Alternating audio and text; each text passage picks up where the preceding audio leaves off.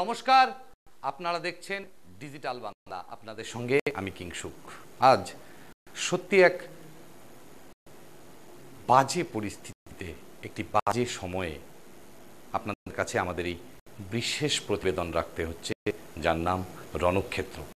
রণক্ষেত্র মানে আপনারা সকলেই জানেন, অর্থাৎ ব্যাটল ফিল্ড যেখানে যুদ্ধ হয়।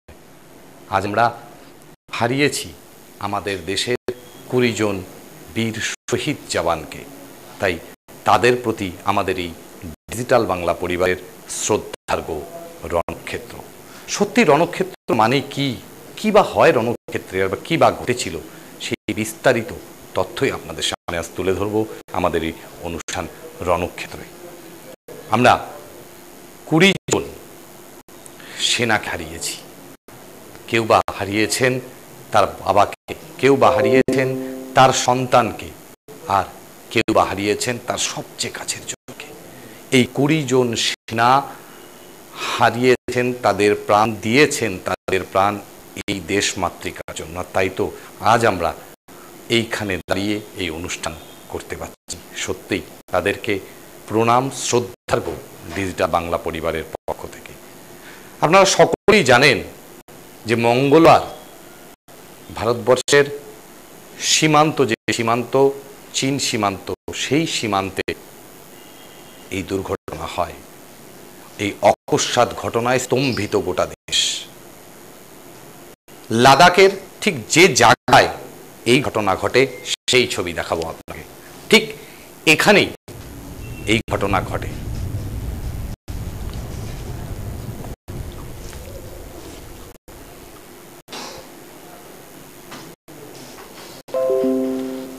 গানওয়ালে যে নিহত হয়েছে বীর শহীদরা, ঠিক এই জায়গাতেই সেই ঘটনা ঘটেছে, সেই ছবি আপনারা দেখছেন। আমরা চেষ্টা করেছি আমাদের যারা দর্শক বন্ধু রয়েছেন তাদেরকে দেখানোর ঠিক কোন জায়গায়, কোন পরিস্থিতিতে এই দুর্গম এলাকায় ভারতের সেনারা তাদের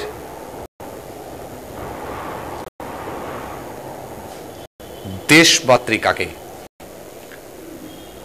আঁকড়ে ধরে থাকার যে অদম্য ইচ্ছা, সেই ইচ্ছাকে সার্থক রূপ দিয়েছে। এই জায়গাতেই একটি বর্ডার রয়েছে, আর সেই বর্ডারের নাম লাইন অফ অ্যাকচুয়াল কন্ট্রোল যাকে বলা হয় এল এসি আর সেখানে এই ঘটনা। ইস্টার্ন লাদাখ বলি আমরা তাকে, গানওয়াল।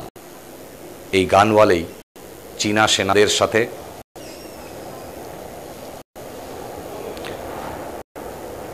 মুখোমুখি সংঘর্ষে এই দুর্ঘটনা ঘটে। আপনাদের জানিয়ে রাখি, এই জায়গাটি একদমই ভারত এবং চীন সীমান্ত, কোনো বর্ডার নেই। একটি নির্দিষ্ট লাইন অফ অ্যাকচুয়াল কন্ট্রোল করা রয়েছে। আর এখানে কোনোভাবেই কোনো সেনারা অস্ত্র নিয়ে যেতে পারে না। এটা দু দেশের বৈদেশিক চুক্তি। এটা দু দেশের কূটনৈতিক চুক্তি। কিন্তু আমরা সত্যি মর্মাহত ও বেদনাহত এই বীর শহীদদের হারিয়ে, তাই আমাদের শ্রদ্ধার। যে কথা আপনাদের বলব, যে ভারতীয় সেনা সূত্রে খবর ছিল যে চীনের সেনারা বিভিন্ন রূপে ছোট ছোট টুকরির মাধ্যমে, আমরা এটাকে ঠিন দিতে বলে টুকরি, অর্থাৎ ছোট ছোট দল করে প্রায় ছ হাজার সেনা যার মধ্যে আর্টালারি সাপোর্ট রয়েছে রয়েছে হেভি মেশিন গান সহ ভারতবর্ষের যে এলএসি অর্থাৎ লাইন অফ অ্যাকচুয়াল কন্ট্রোল সেই line of actual control cross করে চারটি জায়গাতে এসে বসেছিল। যার মধ্যে রয়েছে চোদ্দ নম্বর গালওয়ান, পনেরো ও ষোলো নম্বর কুড়গাঁও এবং ফিঙ্গার ফোর।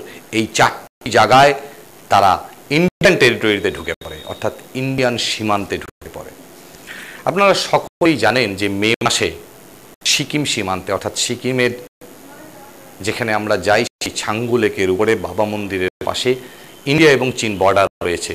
সেই বর্ডারে হাতাহাতি হয় ভারতবর্ষের জওয়ানদের সাথে চীনা জওয়ানদের।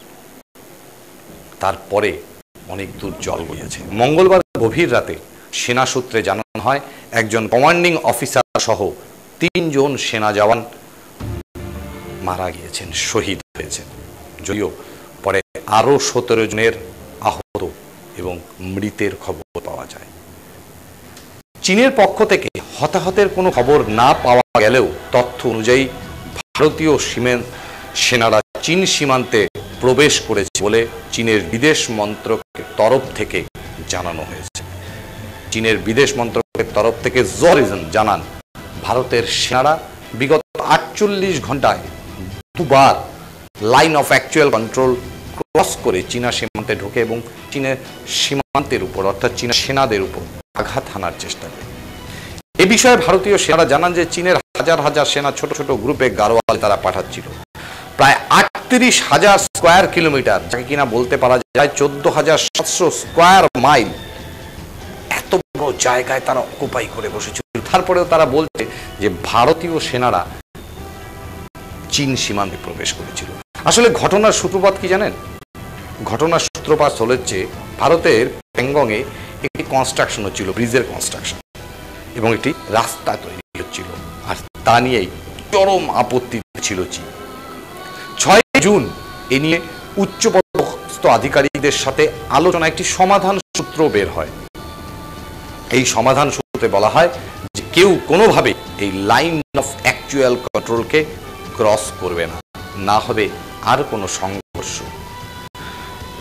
পিপলস লিবারেশন আর্মি যারা চীনের, অর্থাৎ যাদেরকে পিএলএ বলা হয়, এই পিপলস লিবারেশন আর্মি তারা কিন্তু মাঝখানে যে নদী বয়ে চলেছে, তার খুব কাছাকাছি চলে আসে।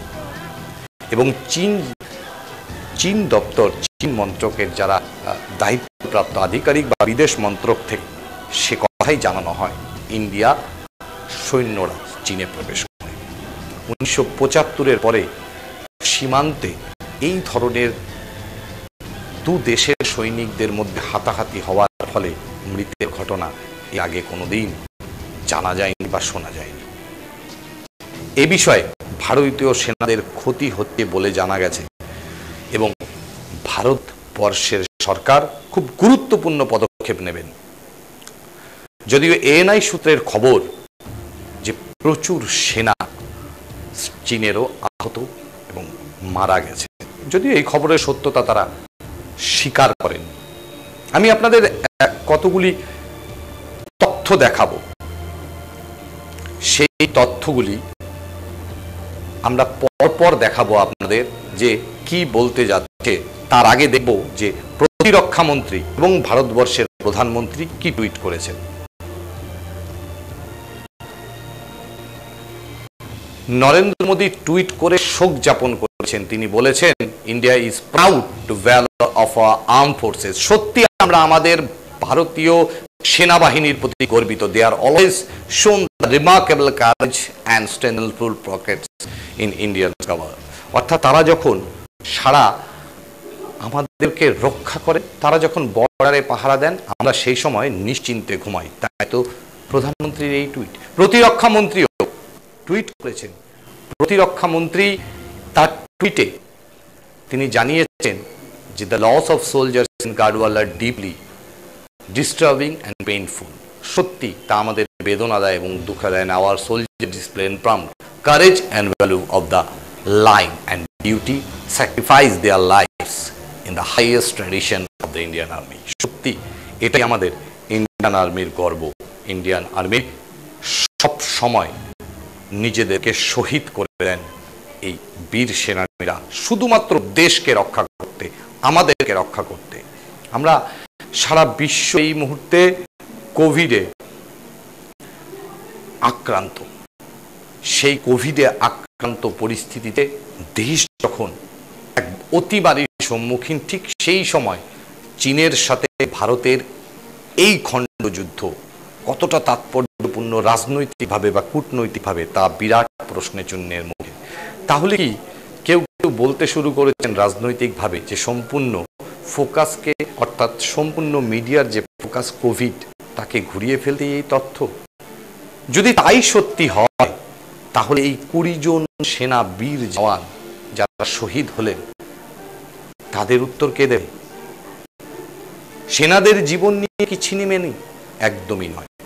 আমরা এই তথ্যে বিশ্বাস করি না, আমরা মনে করি অতিমারির সময় ভারতবর্ষের প্রত্যেকটি নাগরিক সাধ্যমতো লড়াই করে চলেছে নিজের থেকে দেশকে রক্ষা করার তাগিদে, নিজেকে বাঁচানোর তাগিদে। ঠিক সেভাবেই এই বীর সেনানীরা তারা ভারতবর্ষকে রক্ষা করে চলেছেন, দেশ মাকে রক্ষা করে চলেছেন, যাতে আমরা সুস্থভাবে, ভদ্রভাবে, নিশ্চিন্তে রাতে ঘুমোতে পারি। তাই তাদের এই বলিদান কখনোই বিপথে যাবে না।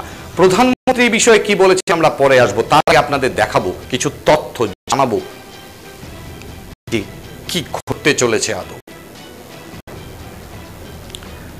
সীমান্তে যারা শহীদ হয়েছেন, সেই সীমান্তে শহীদের মধ্যে ষোলো নম্বর বিহার ব্যাটালিয়নের বারো জন রয়েছে বারো নম্বর বিহার ব্যাটালিয়নের একজন রয়েছেন।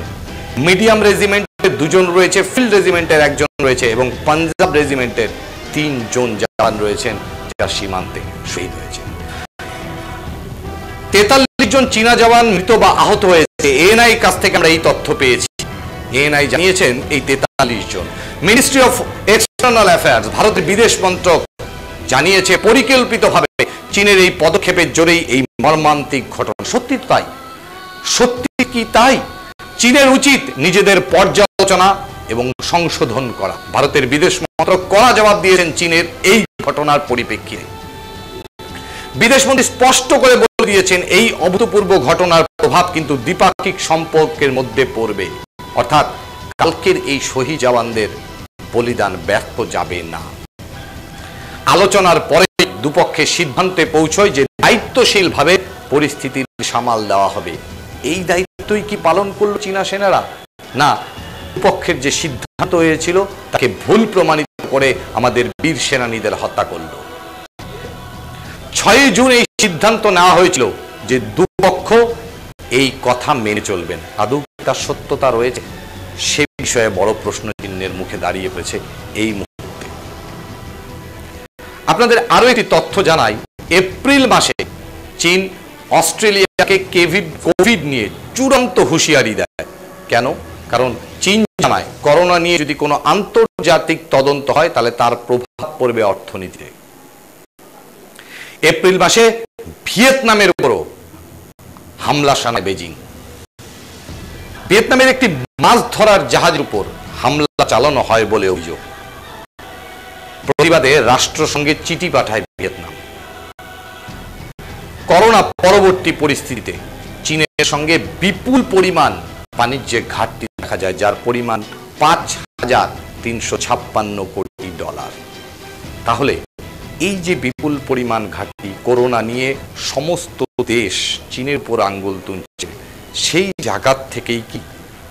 এই পরিকল্পনা, কারণ চীন জানে চীনের যতগুলি প্রতিবেশী দেশ রয়েছে, তার মধ্যে একমাত্র ভারতবর্ষই একটি দেশ যার শক্তি রয়েছে চীনকে লড়াই করার, চীনকে টেক্কা দেওয়ার, তার ফলশ্রুতি স্বরূপ এই বীর জওয়ানরা এক চিলটে জমি কিন্তু ছাড়েনি চীনকে। বরং তাদের সাথে লড়াই করেছে এবং তারপর তারা শহীদ হয়েছে। তাদের এই বলিদান ব্যর্থ যাবে না বলে প্রধানমন্ত্রী জানিয়েছেন।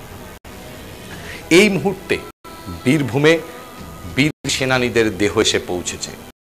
সূত্রে খবর অনুযায়ী আলিপুরদুয়ারেও সন্ধ্যার পর সেই বীর জওয়ান বিপুল রায়ের মরদেহ এসে পৌঁছবে।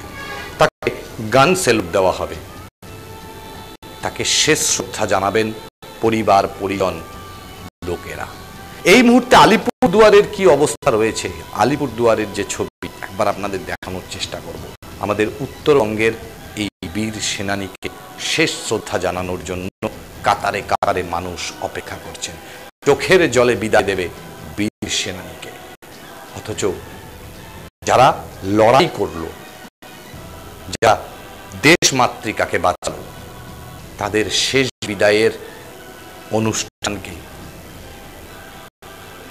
ভালো করে তোলার লক্ষ্যে, স্মৃতিমধুর করে তোলার লক্ষ্যে মানুষ অপেক্ষা করছে। তৈরি হচ্ছে বিশেষ প্যান্ডেল, যেখানে তার মরদেহ রাখা হবে এবং শেষ শ্রদ্ধা যাপন করবেন গ্রামবাসী থেকে শুরু করে এলাকার সাধারণ মানুষ।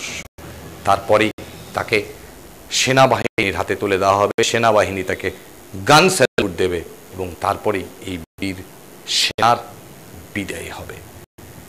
চিরতরের জন্য আমাদের এই পৃথিবী থেকে চলে যাবেন কিন্তু যে পরিস্থিতির কথা আপনাদের জানাচ্ছিলাম, যে কোভিড নিয়ে যখন এক প্রকার বলাই যেতে পারে যে চীন সমস্ত দেশের চাপে রয়েছে, কারণ এর আগে আপনারা যেটা শুনেছিলেন যে চীনের একটি ল্যাব থেকে নাকি এই মারণ ভাইরাস বেরিয়েছে। তা নিয়ে যদিও বিস্তর আলোচনার প্রয়োজন রয়েছে, বিস্তর অভিযোগ, পাল্টা অভিযোগের পালা রয়েছে। তবে আপনাদের আগেও আমি জানিয়েছিলাম যে ডন পলিবার একটি কোম্পানি রয়েছে চীনের। সেই কোম্পানি হঠাৎ করে এত মাস কীভাবে তৈরি করল? আর রাতারাতি সাত হাজার টাকার কোম্পানি, সাত হাজার কোটি টাকার কোম্পানি কি করে বিলিয়নে পৌঁছে গেল? এই প্রশ্ন ঘোরাঘুরি করছে সর্বত্র। যখন সারা বিশ্বে করোনার প্রকোপ বাড়ছে, যখন চীন কিন্তু অর্থনৈতিকভাবে সাবলীল হচ্ছে। অর্থাৎ সারা বিশ্বের যে প্রেশার সারা বিশ্বের যে চাপটা এসে পড়ছে চীনের উপর। আর তা থেকে নজর ঘোরাতেই কি ভারতবর্ষের সাথে এই লড়াই? কারণ ভারতবর্ষের সাথে আমেরিকার একটা সুসম্পর্ক তৈরি হয়েছে, ব্রিটেনের একটা সুসম্পর্ক তৈরি হয়েছে। নর্থ আমেরিকান ট্রিটি অর্গানাইজেশনের তরফ থেকে যে তথ্য সামনে এসছে, তাতে কিন্তু চীনকে এক চিলটিও জমি ছেড়া হবে না বলে জানানো হয়েছে। এর পাশাপাশি কিছুদিন আগে অস্ট্রেলিয়াকে বেজিং এর পক্ষ থেকে জানিয়ে দেওয়া হয় যে, করোনা নিয়ে যদি আন্তর্জাতিক তদন্ত হয়, তাহলে অর্থনীতির উপর প্রভাব ফেলা হবে। তাহলে এই যে সম্পূর্ণ ঘটনা, তা কার দিকে আঙুল তুলছে? ভারতবর্ষের বীর সেনা, যারা এই দুর্গম এলাকায় শ্বাস নিতে কষ্ট হয় প্রচণ্ড বরফে মাইনাসে থাকে টেম্পারেচার সেখানে লড়াই চালিয়ে আমাদেরকে রক্ষা করছে। আর যখন বারবার মৈত্রীর মিটিং হচ্ছে, তখন বলা হচ্ছে নির্দিষ্ট LAC line of actual control cross করা হবে না। তারপরেও কেন এই মারণ খেলা? তাহলে কি কোভিডের পর নতুন করে সারা বিশ্বে অর্থনৈতিক মন্দা তৈরি করাই চীনের লক্ষ্য? নাকি সম্পূর্ণ কোভিডের ফোকাসকে ঘুরিয়ে দিয়ে এক নতুন তথ্য সামনে তুলে আনা জানিয়ে বিশ্ব মেতে থাকবে মিডিয়া ব্যস্ত থাকবে তাই আন্তর্জাতিক কোনো তদন্ত হবে না এই প্রশ্নই ঘোরাঘুরি করছে সর্বত্র এ বিষয়ে ভারতবর্ষের প্রধানমন্ত্রী কি বলেছেন একবার শুনবো पूतों ने गलवान वैली में हमारी मातृभूमि की रक्षा करते हुए सर्वोच्च बलिदान दिया है। मैं देश की सेवा में उनके इस महान बलिदान के लिए उन्हें नमन करता हूँ। उन्हें कृतज्ञतापूर्वक श्रद्धांजलि देता हूँ। दुख की इस कठिन घड़ी में हमारे इन शहीदों के परिजनों के प्रति मैं अपनी संवेदना व्यक्त करता हूँ। आज पूरा देश आपके साथ है। देश की भावनाएँ आपके साथ है। चाहे स्थिति कुछ भी हो, परिस्थिति कुछ भी हो, भारत पूरी दृढ़ता से देश की एक एक इंच जमीन की देश के स्वाभिमान की रक्षा करेगा এই প্রসঙ্গ নিয়ে অর্থাৎ এই বীর শহীদ জওয়ানদের নিয়ে সারা দেশ উত্তাল হয়ে পড়ে বিভিন্ন জায়গায় বিক্ষোভ দেখানো হয় কোথাও বা চীনের জিনিসপত্র চীনের ব্যবহৃত বিভিন্ন জিনিসকে জ্বালিয়ে দেওয়া হয় কোথাও চীনের প্রধানমন্ত্রীর কুশুপুত্তলিকা পোড়ানো হয়। কোথাও পুড়িয়ে ফেলা হয় চীনের জাতীয় পতাকা। অর্থাৎ এই সেনা জওয়ানদের মৃত্যুতে শোকাহত ভারতবর্ষ। প্রধানমন্ত্রীও জানিয়েছেন, কোনো অবস্থাতেই, কোনো পরিস্থিতিতেই তাদের বলিদান ব্যর্থ হবে না। তাহলে কি নতুন কোনো সার্জিক্যাল স্ট্রাইক আবার দেখতে পাওয়া যাবে? সাধারণ মানুষ বলার চেষ্টা করছেন যে ভারতবর্ষের প্রধানমন্ত্রীর সেই চৌষট্টি ইঞ্চি সিনা আবার দেখতে চাই, আবার চাই সার্জিক্যাল স্ট্রাইক যাতে জানে বোঝে, যে বোঝার চেষ্টা করে যে না, আমরা দুর্বল নই। যে কোনো রকম পরিস্থিতির সম্মুখীন হওয়ার জন্য ভারতবর্ষ তৈরি, অর্থাৎ নিউটনের থার্ড ল সব ক্রিয়ার সমান ও বিপরীত প্রতিক্রিয়া।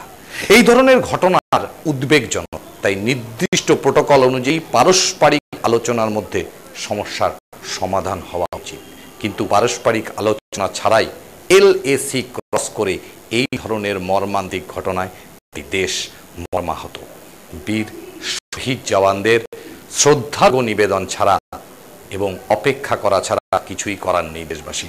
এর মধ্যেই সারা দেশ উত্তাল হয়ে রয়েছে। তারা চায় একবার এই বীর সেনাদের যে শহীদ হলো, তাদের বদলা নেক ভারতবর্ষের সরকার, তাদের সম্পূর্ণ জবাব দিক ভারতবর্ষের সরকার। আর তার অপেক্ষায় আমাদের থাকতে হবে।